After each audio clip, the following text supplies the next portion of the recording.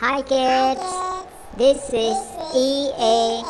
Today we are going to learn about dry fruits.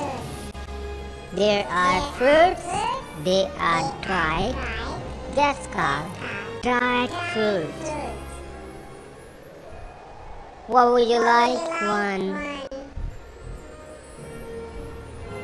It's almond. Almond. Walnut. Walnut. Pistachio. Pistachio. Pistachio. Peanut. Mmm. Nut.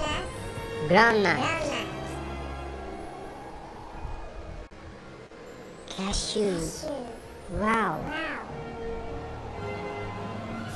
Pine nut. Pine nut. There's palm dates. Dates. Palm dates.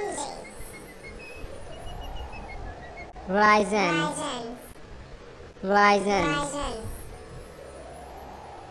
That is cardamom. Cardamom.